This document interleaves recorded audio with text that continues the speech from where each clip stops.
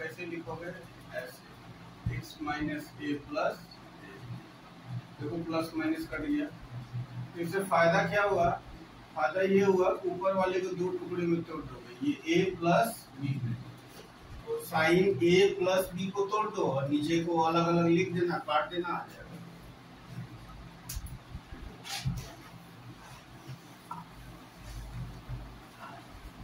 X minus ए को ए मान लेना, बगल वाले को बी तो साइन ए प्लस बी का तोड़ देना।